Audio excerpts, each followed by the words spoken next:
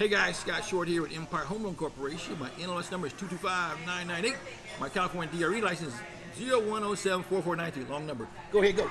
And I am Jamie Furlong, managing partner with Legacy Investment Real Estate. Boom. So we go. So Jamie is a great friend of ours. She's actually did. She's. I met her in an elevator, old office. So it's kind of it's a cool thing. People do the elevator, so it's, it's cool that she let me talk to her. It's like get away, those kids.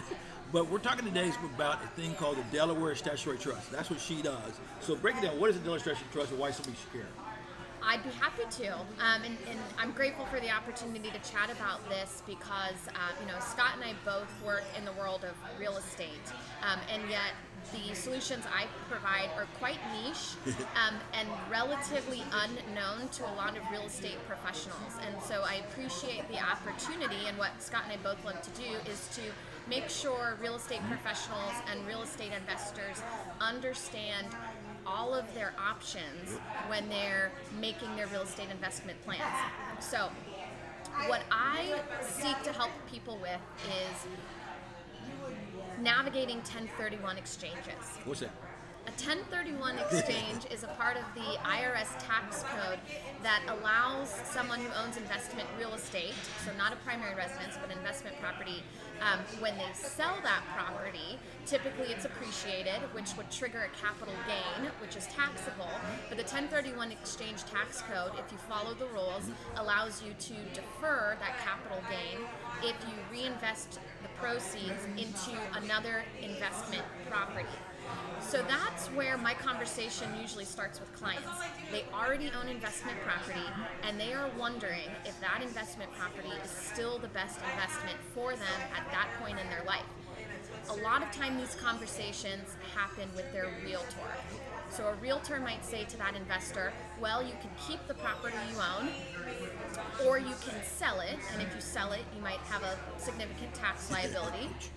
Or you can do a 1031 exchange, and as a realtor, they might start talking to you about more um, property types similar to what you currently own, like another single family rental home. What isn't a part of that conversation often is the Delaware Statutory Trust. So, what I like to do is I like to join that conversation with the investor, with the realtor, with the advisory team, and say, in addition to keeping the home, selling it, or exchanging into another rental home, there is another option called a Delaware Statutory Trust. And I haven't yet told you exactly what the Delaware Statutory Thank you. I was going to ask that question. So good. You read my mind. Um, go ahead. It's essentially an IRS recognized replacement property or investment available to accredited investors who Ooh, are What's accredited investor? Good question. Thank you. Um, an accredited investor is um, either an individual whose annual income is $200,000 and expected to continue to be that, or if you file jointly $300,000 of income, or net worth outside of your primary residence of a million dollars, either single or jointly if you file jointly. So not everybody's going to qualify as an accredited investor, um, which is one um, criteria for something like a Delaware statutory trust investment. There's also some other suitability requirements, and that's a big part of my job is determining if someone might be suitable for this. Um, but the concept is um, a Delaware statutory trust is recognized by the IRS as like kind for the purposes of a 1031 exchange. The key benefits are that it is totally passive to the investor. What's that mean? The investor does nothing. Good. All daily and annual and ongoing management and responsibility and decisions are handled by a third party sponsor company. So, Scott, have you ever heard somebody complain about being a landlord? Oh yeah, the, three T's, right? Yes. Tenants, trash, and toilets. Yes. Right? And, and we live in California. Yep. Um, so, in addition to the everyday difficulties of, of owning investment properties, like dealing with tenants Yep. and maintenance, um, there's also a lot of regulatory issues Yep. in California. Lots of people um, struggled during COVID Mm-hmm. with um, eviction moratoriums and that sort of thing.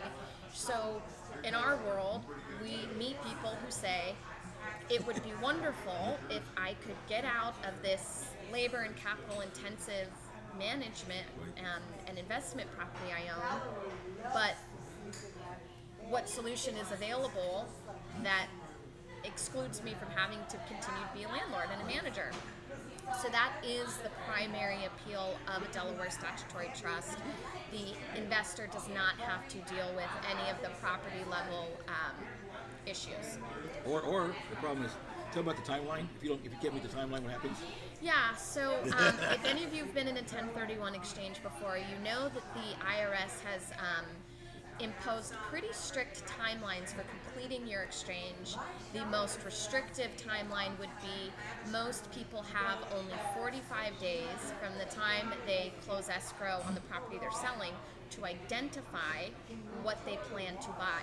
Um, and there's some rules on what that identification form and list can look like. Um, but it can be really hard in just 45 days to find a property that you like, do your due diligence on it, write an offer, get an offer accepted. Especially over the past couple of years, you know, crazy, crazy market.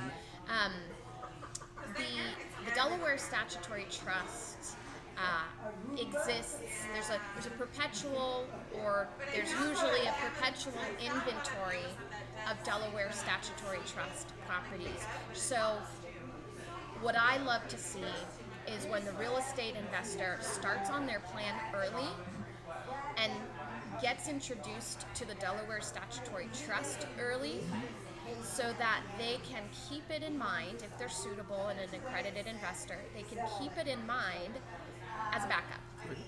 So what that might look like is they work with their realtor and they go around town and they look at properties, but if they don't find something they like, they could potentially pivot to something like the Delaware Statutory Trust with just a few days left on their identification timeline. So, so just to set her up. So when they talk to you, you know, how many days when they come into screaming in, they didn't what they told you to do first was talk to you beforehand. They come screaming in. How many days last minute do you need to, deal with somebody? Sorry. Um, I never want to see anybody make a rushed decision. I think that could lead to bad decisions. Yep. And, you know, in this conversation, we've talked a lot about suitability. Yep. The Delaware Statutory Trust is a complex investment with a lot of potential um, benefits and a lot of risks. And it is critical that the investor have a series of conversations with me to understand the potential benefits and the risks. Good. Can we expedite those conversations? If my schedule allows for it, yes. Um, I have had some last minute calls from lawyers and CPAs um, whose clients need need this guidance. Um, so so long if you want to consider a Delaware statutory trust as a backup option for your exchange, it must be included on your ID form within the 45 days. Cannot call me on day 46. Is it possible to have the conversations we need to have on day 45? It's possible, but I hope this video reaches more people so that they call me months in advance of Right. their exchange or weeks in advance of their exchange and not at the last minute. That's always my preference. So when you, so what happens? So they come to you and say, I want to do a Delaware Statutory Trust. How do you? Just gonna come walk through this conversation with somebody. Let's say somebody's, you know, right before they retire, someone's retired. Seems like that's kind of like your, your, kind of almost your book. Or give me an example of that. Yeah, so you're referring to what does a typical DST investor Yep. maybe look Yep. like, and Yep. then what's the process? Um, you. Very rarely does someone call me and say, I want to do a DST investment. More commonly, someone is referred to me by another professional, mm-hmm. their realtor, their lawyer, their CPA, for example, and they say, hey, this person who I who I like knows my story, and they think I might be interested in a Delaware statutory trust, but I've never heard of it. Jamie, what is this? Right. So most people are coming to me not even knowing what a Delaware statutory trust is. So there's a lot of fundamentals to cover, but the way we approach our clients is helping them achieve their goals. What are your goals? What are your income needs? What are your liquidity needs? What do the rest of your investments look like? Can a DST help you meet your goals? Is it a better solution than what you currently own? And are you comfortable with all of the risks? So there are a series of conversations we will have with prospects to make sure they understand what this investment is and make sure we understand their goals. Um, if it's a right fit, eventually we'd move to the point where our team makes recommendations for them. Within the inventory of available properties, we would begin to make recommendations that we think will help them achieve their goals and at the right risk level for them.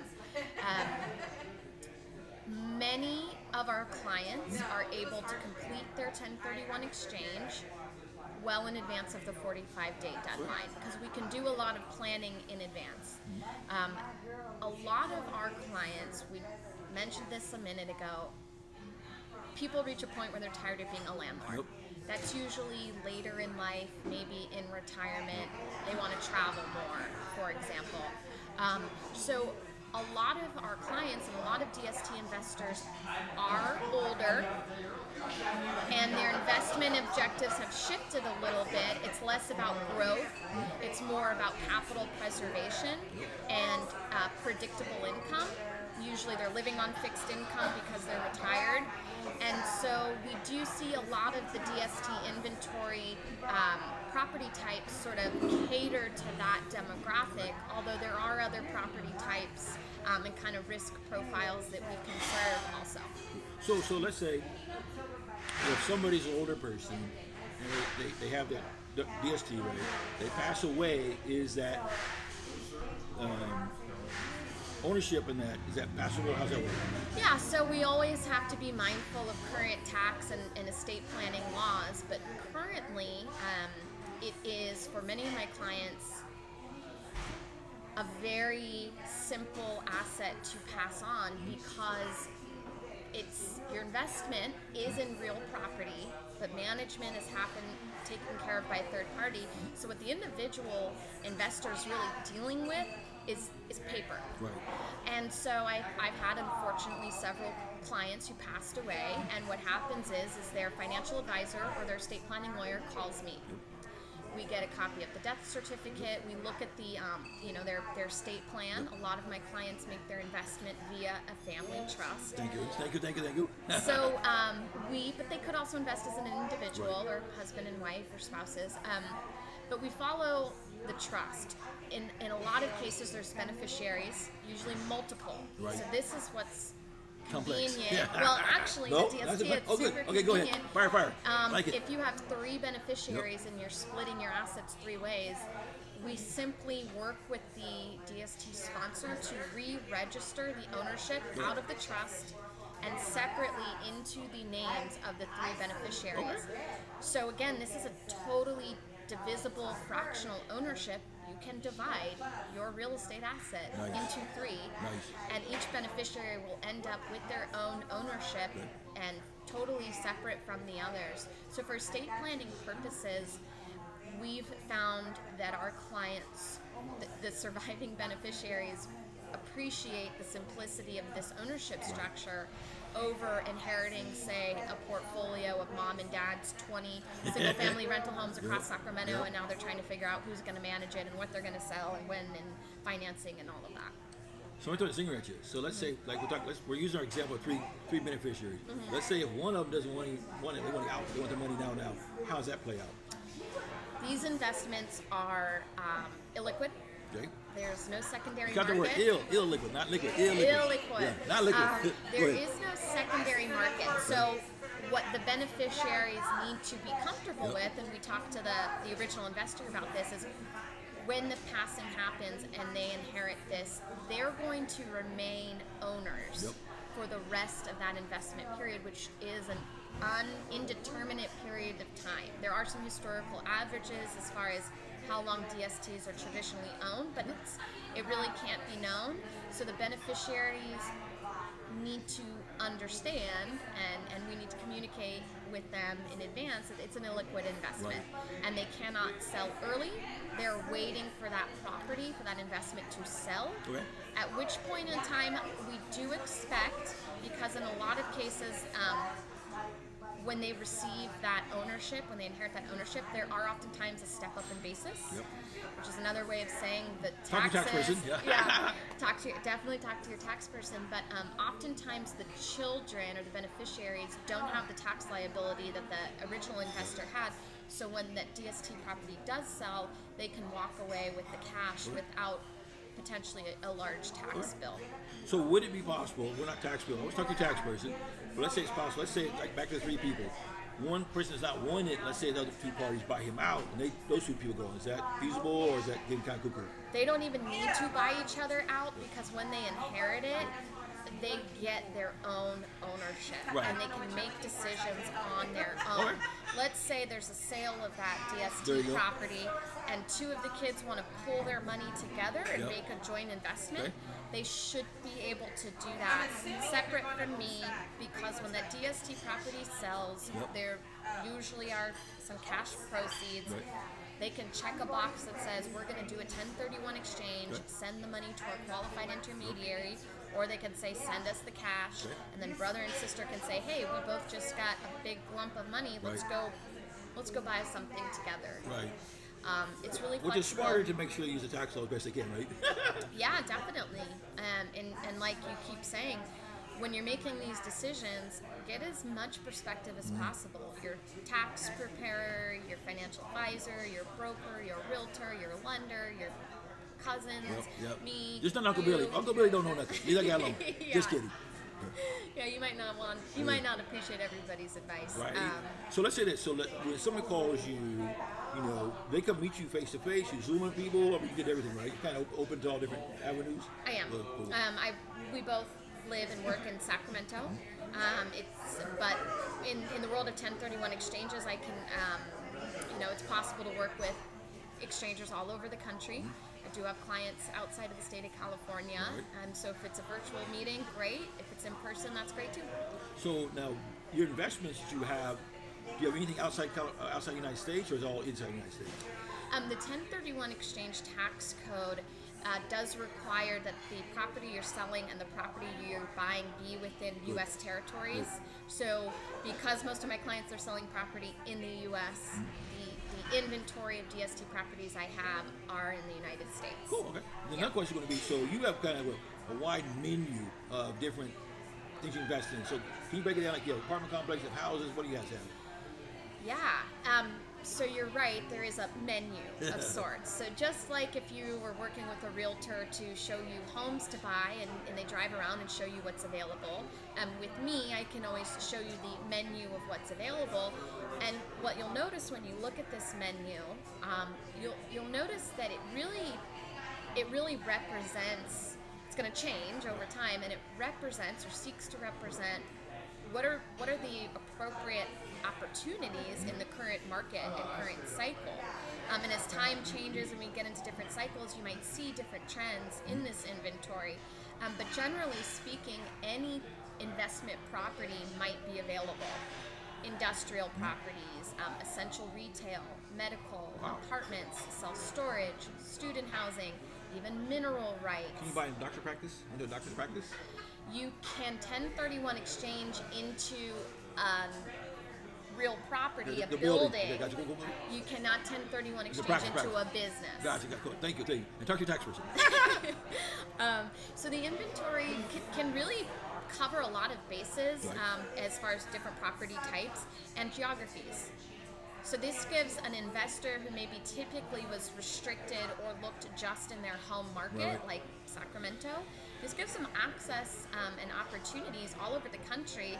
And for the first time ever, in a lot of cases, it gives them the opportunity to buy into property types that they couldn't Right. access or afford on their own.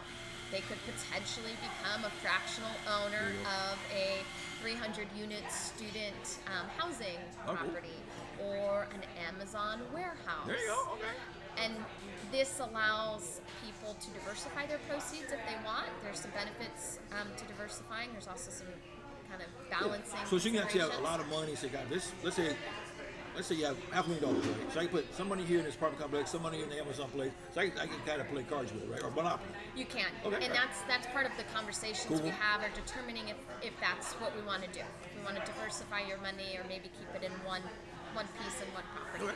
So last question. I don't want to take too much. know you got you got a meeting pretty soon. What is the weirdest thing you've invested in? The weirdest thing I've invested in. Um, I, I caught it there. It's a singer. It's a singer.